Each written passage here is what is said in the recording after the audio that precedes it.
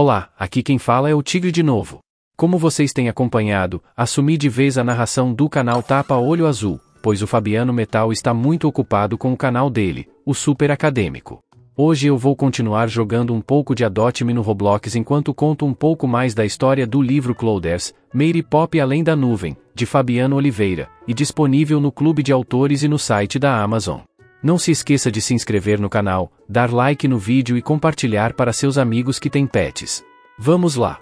Continuando o capítulo 6, uma lembrança do futuro, jogos, livros e vida digital.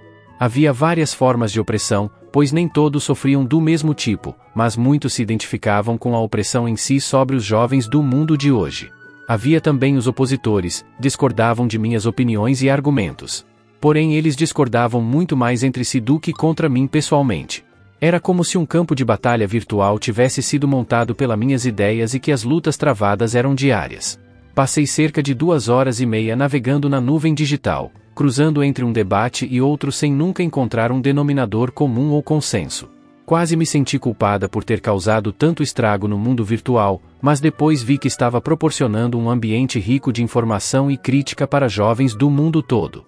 Nota: parece pouco modesto informar isso a vocês agora, mas é o que de fato estava acontecendo vocês vão perceber que tudo isso ainda vai se tornar muito maior do que eu, uma simples blogueira adolescente.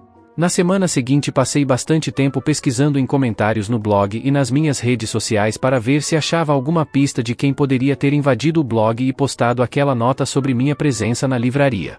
Minha vida pessoal ainda era bastante discreta na nuvem, mas isso poderia mudar a qualquer momento se passasse a ser reconhecida em locais públicos. Leandro me ajudou a instalar um aplicativo tanto no meu computador quanto no meu celular que ajudava a rastrear acessos indevidos em minhas contas de e-mail, perfis e redes sociais. Com a convergência cada vez maior da nossa vida pessoal para o mundo digital, passava a existir como que uma segunda versão de nós mesmos dentro da nuvem. Mesmo pessoas totalmente estranhas a tecnologias digitais estavam presentes de algum modo na nuvem, pois bastava ter um número de documento ou conta em banco que logo aparecia na nuvem. Daí para os hackers e crackers, os pioneiros do mundo dos clouders, acharem uma brecha de segurança e atacar era apenas uma questão de tempo, sorte ou destino. Eu só não queria ser pega de surpresa novamente. Assim que o aplicativo começou a rodar no computador apareceram as pessoas que mais costumavam acessar minha vida digital. Nenhuma surpresa de ver recorrente em visitas aos meus perfis os meus pais, que sempre ficavam de olho no que fazia na internet. O próprio Leandro, que até ficou meio encabulado de aparecer tanto, como se me vigiasse também. Marcos, que apesar de menos frequente agora, ainda era um visitante frequente. Algumas colegas de escola mais próximas, e até o Vini Maio, que de vez em quando lia minhas coisas. Mas a grande surpresa nossa foi ver um perfil bastante inusitado aparecendo como visitante frequente o professor Melo, aquele mesmo do encontro na livraria. Leandro e eu nos olhamos com certa perplexidade e desconfiança. Mas o que seu professor pode querer comigo? E eu é que sei? Você não falou com ele sobre mim? De modo algum, Meire. Eu gosto das aulas dele, mas nunca tive maiores conversas com ele. Bom, é óbvio que ele conhece você e me conhece, mais do que eu pensava, pelo que estou vendo. Pode ser por causa do seu blog. Veja como estão os acessos já está com quase 500 mil visualizações por semana. Ele é professor de História e Literatura, e você mesma ouviu ele elogiando sua forma de escrever. Sim, Leo? Mas pelo aplicativo que instalamos ele tem acessado várias coisas a meu respeito, além do blog.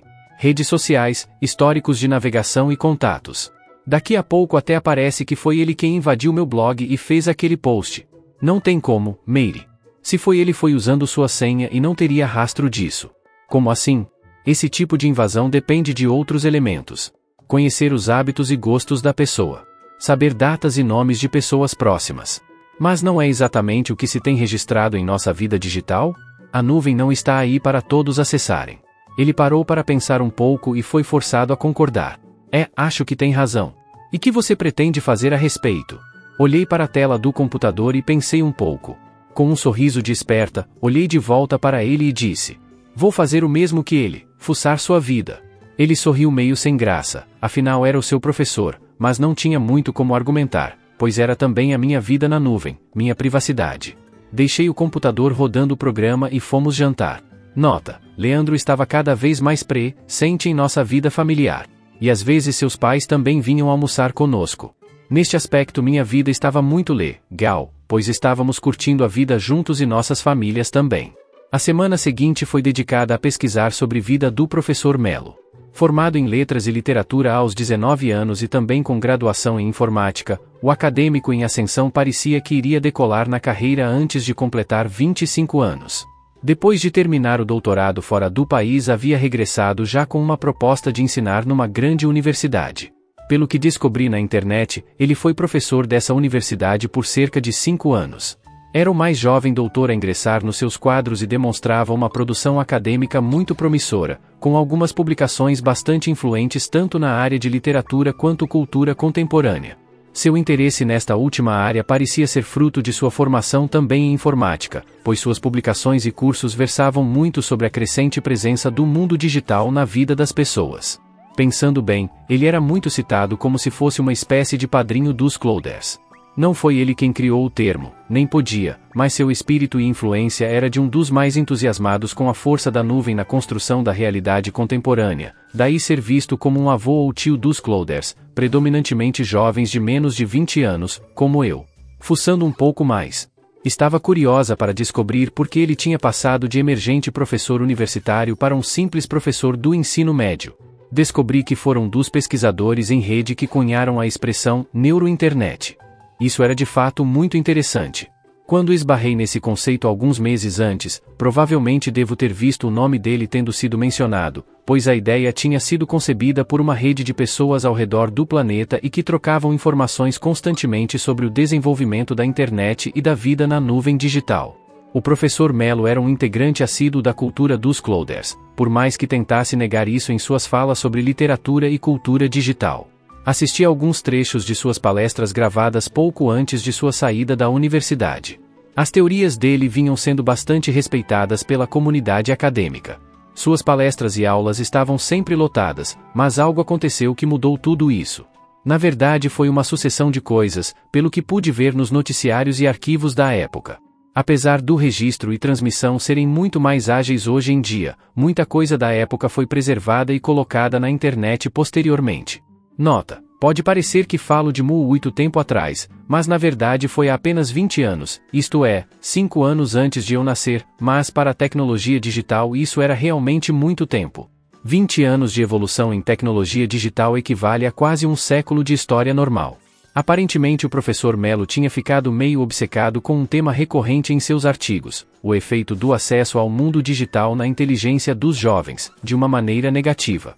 Em algumas de suas apresentações, inclusive, ele parecia um pregador desesperado numa cruzada em favor das formas analógicas de comunicação, como uma forma de resgatar a capacidade crítica e criativa dos jovens.